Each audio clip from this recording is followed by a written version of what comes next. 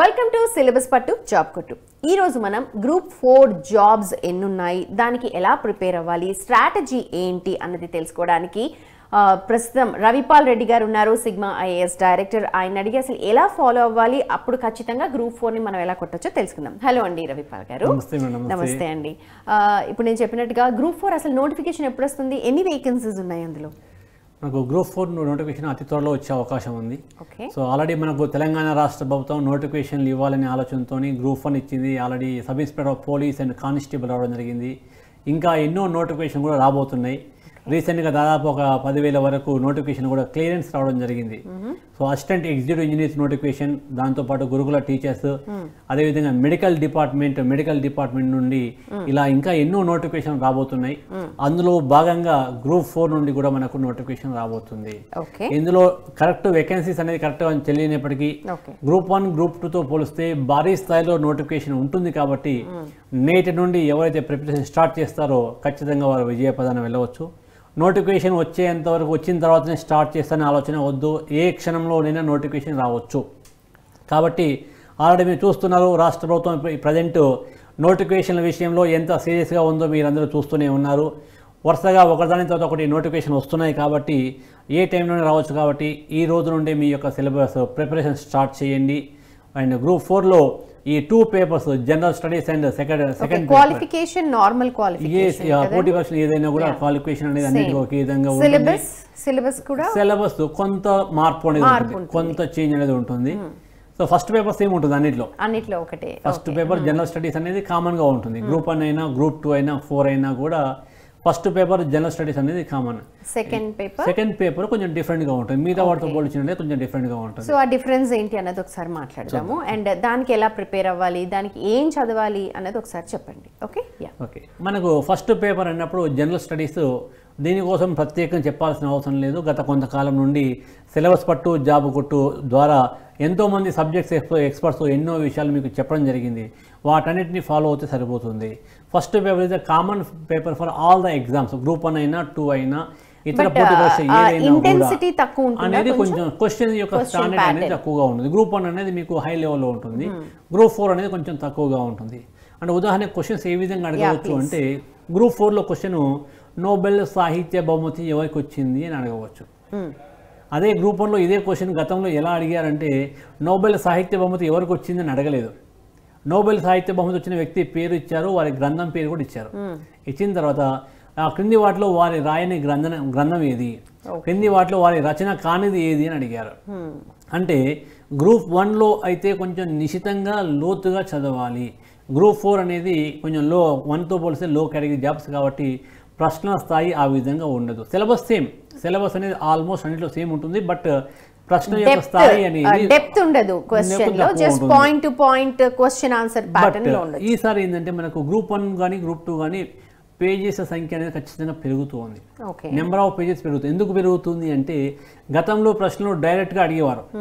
ఈ దీనికి మహమ్మద్ ఎవరు సంబంధించారు? లేకుంటే ఆ ఇష్యూ ఎప్పుడు జరిగింది? లేదా మొదటి పాటిపట్టి యుద్ధం ఎప్పుడు జరిగింది? లేదా ఇలాంటి క్వశ్చన్ డైరెక్ట్గా అడిగేవాళ్ళు కానీ నెక్స్ట్ టైం మాత్రం ఖచ్చితంగా పాత ప్రశ్నాపత్రంతో పోల్చినట్టయితే పేజీల సంఖ్య పెరుగుతుంది. ఎలా పెరుగుతుంది? సివిల్ సర్వీసెస్ ప్యాటర్న్ మనకు చూసినట్లయితే అందులో క్వశ్చన్స్ డైరెక్ట్ క్వశ్చన్స్ కాకుండా క్రింది వాటిలో జతపరచము క్రింది వాటిలో సరికానిది ఏంటిది? ఆ విధంగా ఉండేది. సో అంటే ఒక ప్రశ్నలో అంతర్గతంగా మనకు తెలియకుండానే రెండు మూడు ప్రశ్నలు జోడించి అడుగుతూ ఉన్నారు. కాబట్టి గ్రూప్ ఫోర్లో కూడా ప్రశ్నల స్థాయి కఠినంగా ఉన్నప్పటికీ లోతుగా ఉన్నప్పటికీ ఉన్న వాటిలో కూడా జతపరచము అని ఇలాంటి ప్రశ్నలు ఎక్కువగా ఇచ్చే అవకాశం ఉంది. సో కాబట్టి నేటి నుండే ప్రిపరేషన్ స్టార్ట్ చేయండి. అండ్ నెక్స్ట్ ఒక తెలంగాణ రాష్ట్ర ప్రభుత్వం మరొక అద్భుతమైన గిఫ్ట్ ఇచ్చింది. కానీ ఈ ప్రచారం లేకపోవడం వలన ఆ గిఫ్ట్ అనేది విద్యార్థులకి చేరడం లేదు. మనకు నోటిఫికేషన్ ఎలాగో ఇస్తుంది అది అందరికీ తెలిసిందే. నోటిఫికేషన్ గురించి మనం చెప్పాల్సిన అవసరం లేదు అందరికీ తెలుసు. కానీ తెలియకుండా ఇచ్చిన మరొక అద్భుతమైన గిఫ్ట్ ఏంటి అంటే ఇప్పటి వరకు తెలంగాణ రాష్ట్ర ప్రభుత్వంలో ఇది మొదటిసారి జరిగిన సంఘటన. అది ఏంటి అంటే ఎప్పుడైనా కూడా ఒక రాష్ట్ర బడ్జెట్ అయిపోయిన తర్వాత బడ్జెట్ కాగానే నెక్స్ట్ డేలో మనకు నెక్స్ట్ డేలో మన యొక్క socio economic survey socio economic outlook అనే బుక్ ఇచ్చేవాళ్ళు. అది గతంలో కేవలం ఎవరికి అంటే ఈ ప్రభుత్వ అఫీషియల్స్ మాత్రమే అందుబాటులో ఉండేది. బట్ ఈసారి మాత్రము రాష్ట్ర ప్రభుత్వము విద్యార్థులందరికీ అందుబాటులో ఉండాలనే ఉద్దేశంతో వాటిని తెలుగులో మరియు ఇంగ్లీష్లో కూడా ప్రింట్ చేసి అన్ని కలెక్టర్ ఆఫీస్లో అందుబాటులో పెట్టింది. తెలంగాణ జిల్లాలో ఉన్న ముప్పై మూడు జిల్లా కలెక్టరేట్లో మీకు అందుబాటులో ఉంది. ఇది చాలా మంది విద్యార్థులకు తెలియదు. కేవలం ఆ ఒక్క బుక్ నుండి మీకు కనీసం పది ప్రశ్నలు వచ్చే అవకాశం ఉంది. అందులో తెలంగాణ జాగ్రఫీ ఉంది తెలంగాణ బడ్జెట్ ఉంటుంది తెలంగాణలో ఉన్న పథకాలు ఉన్నాయి. తెలంగాణ పాలసీల గురించి కూడా ఇవ్వడం జరిగింది. చాలా మంది పథకాల మీద ఫోకస్ పెడుతున్నారు కానీ పాలసీలని. పట్టించుకోవడం లేదు. పాలసీల గురించి ఉంది. అవన్నీ కూడా అందులో ఉంది. కేవలం ఆ ఒక్క బుక్ ద్వారా మీకు కనీసం economic outlook outlook social economic outlook అది కలెక్టరేట్ ఆఫీస్కి వెళ్ళి CMO chief chief planning officer CPO CPO, office ఆ సిపిఓ ఆఫీస్కి వెళ్తే ఆ బుక్ ఇవ్వడం జరుగుతుంది. నిజానికి ఆ బుక్ ప్రింటింగ్ కాస్ట్ దాదాపు రెండు వందల యాభై నుండి మూడు వందల వరకు అవుతుంది. కానీ ప్రభుత్వం విద్యార్థులకి తక్కువ రేటుకి ఇవ్వాలనే ఉద్దేశంతో జస్ట్ ఓన్లీ ప్రింటెడ్ కాస్ట్ కన్నా తక్కువ ఖర్చుకి జీవనం నూట యాభై రూపాయలకు అందుబాటులో ఇస్తున్నారు. కాబట్టి వెళ్ళండి మీ దగ్గరలో ఉన్న కలెక్టరేట్కి వెళ్ళి సిపిఓ ఆఫీస్లో వెళ్ళి ఆ బుక్ తీసుకోండి. దాని ద్వారా గవర్నమెంట్ ఇస్తున్న గిఫ్ట్ని సద్వినియోగం చేసుకొని విజయ పదాన పయనించండి. ఓకే వన్ ఫిఫ్టీ రూపీస్ అనుకోకండి. ఎందుకంటే అందులోంచి ఒక టెన్ టు ట్వెల్వ్ క్వశ్చన్స్ వచ్చే అవకాశం ఉంది. అండ్ ఈచ్ మార్క్ కూడా కౌంట్ అవుతుంది కాబట్టి వన్ ఫిఫ్టీ రూపీస్ని ఎక్కడ కూడా మీరు కౌంట్ చేసుకోకండి. రైట్ అండి. ఇప్పుడు సెకండ్ పేపర్ కొంచెం డిఫరెంట్ అన్నారు కదా. ఏముంటుంది ఆ డిఫరెన్స్ ఒకసారి? సో మనకి ఇప్పుడు పోటీ పరీక్షలో చూసినట్లయితే జనరల్ ఒక్కొక్క ఎగ్జామినేషన్ ప్రతి ఎగ్జామ్లో ఫస్ట్ పేపర్ కామన్గా ఉంటుంది. సెకండ్ పేపర్ కొంచెం డిఫరెంట్గా ఉంటుంది. ఈ గ్రూప్ ఫోర్కి? ఈ గ్రూప్ ఫోర్లో మనకు సెక్రటరీ ఎబిలిటీ అని ఇవ్వడం జరిగింది. సెక్రటేరియల్ ఎబిలిటీ యా ఇందులో మనకి ఏంటి అంటే క్వశ్చన్స్ లాజికల్ రీజనింగ్ నుండి అధిక ప్రియారిటీ ఇవ్వడం జరిగింది. లాజికల్ రీజనింగ్ అండ్ యాప్టిట్యూడ్ అంటే ఏమి అవసరం ఉంటుంది వీళ్ళకి సెక్రటేరియల్ ఎబిలిటీస్లో ఈ లాజికల్ థింకింగ్ అంటే దే హ్యావ్ టు పర్స్యూ తర్వాత అవే పని చేయాలా వీళ్ళు? అవే పనులు. మన సెక్రటరీ ఎబిలిటీ అన్నప్పుడు వీళ్ళ యొక్క వర్క్స్ ఏంటంటే క్లరికల్ జాబ్స్ ఇవన్నీ కూడా. క్లరికల్ జాబ్స్ ఉన్నప్పటికీ కూడా వాళ్ళ యొక్క యాక్టివ్నెస్ అనేది ఉండాలి. ఏ పనులు చెప్పినా కూడా ఇమీడియట్గా చేయగలిగే విధంగా ఉండాలి. రిపోర్ట్స్ తయారు చేసేటప్పుడు జనరల్గా మీరు గ్రూప్ వన్ ఆఫీసర్ అనుకోండి మీరు గ్రూప్ వన్ ఆఫీసర్గా అన్ని రిపోర్ట్స్ మీరు తయారు చేయరు. మీరు ఏం చేస్తారు? క్లరికల్ జాబ్స్ చేసిన వాళ్ళందరూ చేసిన రిపోర్ట్స్ని మీరు పర్సూ చేయడం జరుగుతుంది. అంటే అలాంటప్పుడు మీకు కూడా దాని మీద కమాండ్ ఉండాలి. మీరు గ్రూప్ వన్ ఆఫీసర్ అయినప్పటికీ వాళ్ళు రిపోర్ట్స్ ఇచ్చారు అందులో ఏమైనా మిస్టేక్స్ ఉంటే కరెక్ట్ చేయాల్సింది మీరే. ఏ మాత్రం చూడకుండా మనం బయటికి ఫార్వర్డ్ చేసామనుకోండి పొరపాటు అందులో ఒకటో రెండో మిస్టేక్స్ ఉంటే the group one officer is the responsible person నేను తయారు చేయలేదు మా ఆఫీస్లో క్లర్క్ చేశారు అని చెప్పడానికి లేదు. అంటే ఆఫీస్లో ఏ సంఘటన జరిగినా ఎవరు ఏది చేసినా ఫైనల్ రెస్పాన్సిబుల్ పర్సన్ ఎవరంటే అధికారి మాత్రమే. కాబట్టి గ్రూప్ వన్ అధికారులకి దాని మీద కమాండ్ ఉండాలి. గ్రూప్ ఫోర్ అధికారులకి ఇంకా ఎక్కువ ఉండాలి. ఎందుకంటే ఆ రిపోర్ట్స్ తయారు చేసేది కానీ ఏదైనా వర్క్ కానీ చేసేది మొత్తం కూడా వాళ్ళే చేస్తుంటారు. ప్రతి పని కూడా వాళ్ళ చేతుల మీద నడుస్తూ ఉంటుంది. సో కాబట్టి వారికి దీని మీద మంచి కమాండ్ అనేది ఉండాలి. సో కాబట్టి ఇందులో ఉన్న పేపర్ ఏ విధంగా ఉంటుంది అంటే ఫస్ట్ జనరల్గా అన్నిట్లో జనరల్ స్టడీస్లో మొదటి పేపర్లో లాజికల్ రీజనింగ్ అనేది ఇవ్వడం జరుగుతుంది. లాజికల్ రీజనింగ్ నుండి దాదాపు ఒక ఇరవై ప్రశ్నలు వచ్చే అవకాశం ఉంది. బట్ ఇందులో ఫస్ట్ పేపర్లో ఈ టాపిక్ అనేది ఇవ్వకుండా సెకండ్ పేపర్లో ఇచ్చారు. సెకండ్ పేపర్లో దీని ప్రియారిటీ ఎక్కువ చేశారు. ఇందులో జనరల్గా అన్నింటిలో ఒక ఇరవై ప్రశ్నలు వస్తాయి ఇందులో రెండు నూట యాభై ప్రశ్నలు దాదాపు మ్యాక్సిమం క్వశ్చన్స్ దీని నుండి వస్తున్నాయి. అన్ని ప్రశ్నలు కూడా లాజికల్ రీజనింగ్ నుండి అనలిటికల్ రీజనింగ్ నుండి అదేవిధంగా డేటా ఇంటర్ప్రిటేషన్ నుండి న్యూమరికల్ ఎబిలిటీ అంటే మ్యాథ్స్ మ్యాథ్స్ సంబంధించిన. క్వశ్చన్ నుండి వస్తున్నాయి. ఇవే కాకుండా సెంటెన్స్ రీఅరేంజ్మెంట్ ఇది ఒక కొత్త టాపిక్ ఏంటంటే సెంటెన్స్ రీఅరేంజ్మెంట్ ఏంటి సెంటెన్స్ రీఅరేంజ్మెంట్ ఒక ఫోర్ సెంటెన్స్ ఇస్తారు మీకు. ఒక నాలుగు వాక్యాలు ఇస్తారు. ఆ నాలుగు వాక్యాలు చదివారనుకోండి మనకు ఒక అర్థమైన అందులో ఏ మీనింగ్ లేదు కదా అనే విధంగా ఉంటుంది. బట్ వాటిని మీరు ఒక ఆర్డర్లో పెడితే వాటిని ఒక ఆర్డర్లో పెడితే అప్పుడు అది మన దానికి ఒక మీనింగ్ చిన్న స్టోరీ అవడమో లేకపోతే చిన్న మెసేజ్ ఓరియంటెడ్ అలాగే ఫర్ ఎగ్జాంపుల్. ఇప్పుడు ఈ రోజు నా నేను చేస్తున్న సంఘటన చూసినట్లయితే ప్రజెంట్ ఇప్పుడు నేను సినిమాకి వెళ్ళాను. సినిమాకి వెళ్ళాను. సినిమా చాలా అద్భుతంగా ఉంది. సినిమా కోసము సినిమా కోసము ఇంటి నుండి బయలుదేరడం జరిగింది. ఇప్పుడే నేను సినిమా టికెట్ బుక్ చేశాను. Hmm. దీన్ని రీఅరేంజ్ అంటే ఇది ఒక ఆర్డర్లో లేవు. ఒక ఆర్డర్లో లేవు. అంటే ముందు సంఘటన వెనకకి వెనక సంఘటన ముందుకు ఉంది సో వీటిని ఒక ఆర్డర్లో పెడితే అంటే ఏది ఫస్ట్ సెంటెన్స్ ఏది సెకండ్ సెంటెన్స్ సెకండ్ థర్డ్ అంటే ఒక ఆర్డర్లో పెడితే దానికి ఒక మీనింగ్ అనేది వస్తుంది. అంటే ఈ సెంటెన్స్ రీఅరేంజ్మెంట్ అనేది కూడా ఉంటుంది. ఇది పెట్టడంలో ఉద్దేశం ఏంటి అంటే వర్క్ చేసేటప్పుడు ఏది ముందు ఉండాలి ఏది వెనక ఉండాలి అనేది ఎక్కువ అవగాహన వారికి ఉండాల్సి ప్రియారిటైజ్ ఏది ముందు వెనక ఉండాలి. సెంటెన్స్ రీఅరేంజ్మెంట్ అందులో సెకండ్ పేపర్లో సెకండ్ పేపర్స్ ఓకే ఇప్పుడు మిగిలిన డేటా ఇంటర్ప్రిటేషన్ అన్నారు కదా డేటా ఇంటర్ప్రిటేషన్కి సంబంధించి అనలిటిక్స్ సంబంధించి ఎలా ఉండొచ్చు? లాజికల్ రీజనింగ్ అనలిటికల్ రీజనింగ్ అనేది దాదాపు గ్రూప్ వన్ ఎగ్జామినేషన్లో గ్రూప్ టూ ఎగ్జామినేషన్లో ఎలా ఉంటుందో అదే విధంగా ఇక్కడ ఉంటుంది. కాకపోతే ప్రశ్న యొక్క స్థాయి అనేది కొంచెం తక్కువగా ఉంటుంది. ఓకే మనకు ఈ కోడింగ్ అండ్ డీకోడింగ్ కానీ ఇతర ప్రశ్నలు ఏవి తీసుకున్నా కూడా డైరెక్ట్గా సింపుల్గా చేసే విధంగా ఉంటుంది. సింపుల్గా ఉంటుంది కదా అని వాటిని మనం నెగ్లెక్ట్ చేసినట్లయితే లైట్ తీసుకోకూడదు. తీసుకున్నట్లయితే అంటే సింపుల్ అనేది దేంతో పోలుస్తున్నాను? గ్రూప్ వన్ గ్రూప్ టూతో పోల్చినట్టయితే స్థాయి సింపుల్గా ఉంటుంది. కాబట్టి ఇక దాన్ని కూడా మీరు లైట్గా తీసుకోకుండా ఒకసారి ప్రీవియస్ క్వశ్చన్ పేపర్ మనం చూసిన తర్వాత అవి ఏ స్థాయిలో వస్తున్నాయో వాటి మీద మీరు ఫోకస్ చేసినట్లయితే ప్రాక్టీస్ చేసినట్లయితే దీని మీద మంచి పట్టు సంపాదించవచ్చు. ఓకే ప్రిపరేషన్ అన్నది సేమ్ అంత లెవెల్లో కాకపోయినా but we have to prepare కదండి. Everyday we have to prepare for it అంటే మీరు వీలుంటే గ్రూప్ వన్ కోసము ప్రిపేర్ కాండి గ్రూప్ టూ కోసం ప్రిపేర్ కాండి. గ్రూప్ వన్ ఎగ్జామినేషన్ అంటే ఇది కొంచెం డిఫరెంట్గా మిగతా వాటితో పోల్చినట్లయితే డిఫరెంట్గా ఉంటుంది. మిగతా అన్ని పరీక్షల కన్నా గ్రూప్ వన్ డిఫరెంట్గా ఉంటుంది. కారణం ఏంటి? గ్రూప్ వన్ ఫిలిమ్స్లో అన్నిటిలాగానే మల్టిపుల్ చాయిస్ ఉంటుంది. ఫిలిమ్స్ క్వాలిఫై అయిన తర్వాత మెయిన్స్ అనేది డిస్క్రిప్టివ్ టైప్లో ఉంటుంది. డిస్క్రిప్టివ్ టైప్లో రాష్ట్ర స్థాయిలో ఇంకా వేరే ఏ పోటీ పరీక్షకు ఉండదు. కేవలం గ్రూప్ వన్కే ఉంటుంది. కేంద్ర స్థాయిలో అయితే సివిల్ సర్వీసెస్ యూపీఎస్సీలో సివిల్ సర్వీసెస్ ఉంటుంది.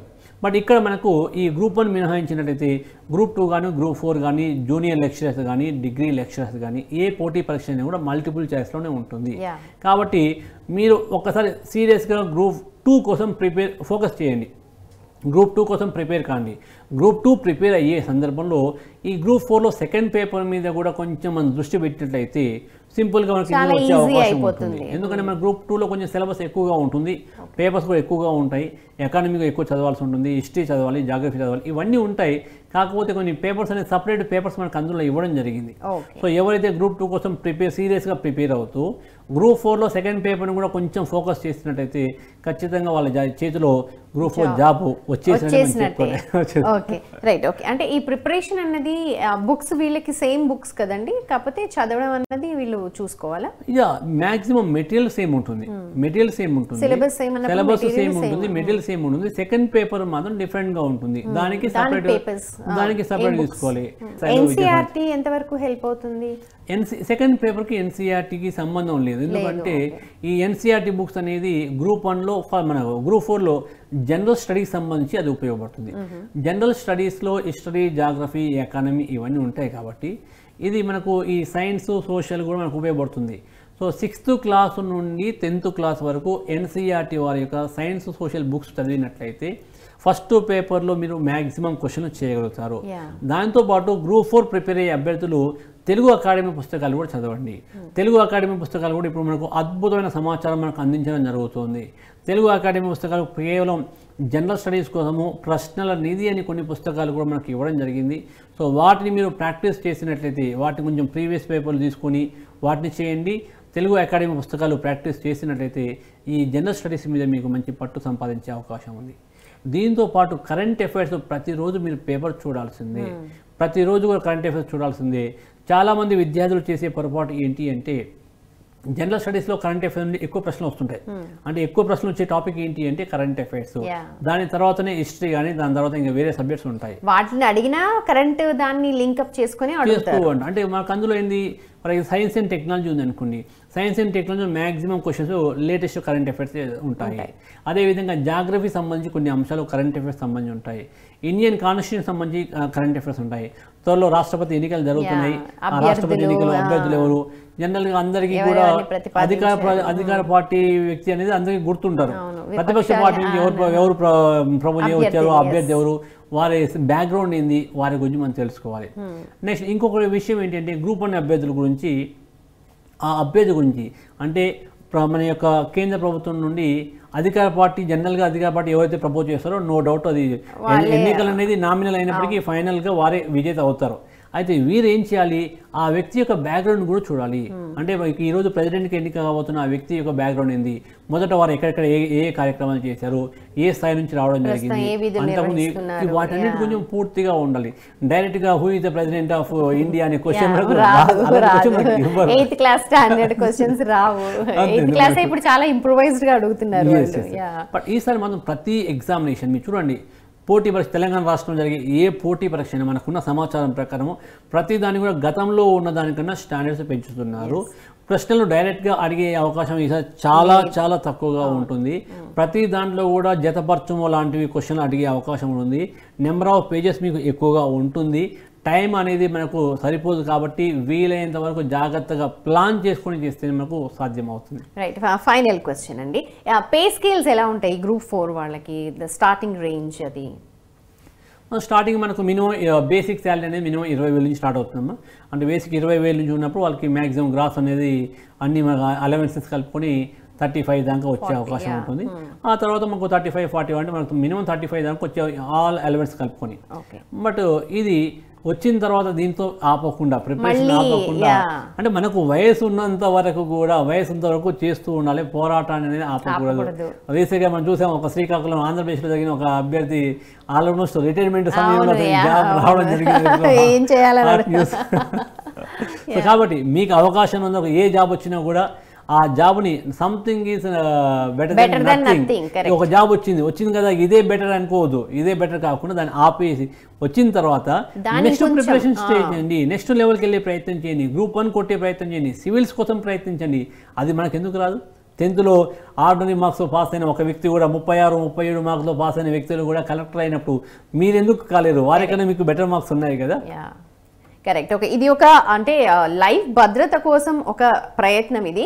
ఇది వచ్చేసిన తర్వాత సైలెంట్ కూర్చోకండి. గ్రూప్ ఫోర్ అని అనుకోకండి. గ్రూప్ టూకి గ్రూప్ త్రీకి అలా గ్రూప్ వన్కి కూడా ట్రై చేయండి. You will be the best thank you so much అండి రవి గారు. Thank you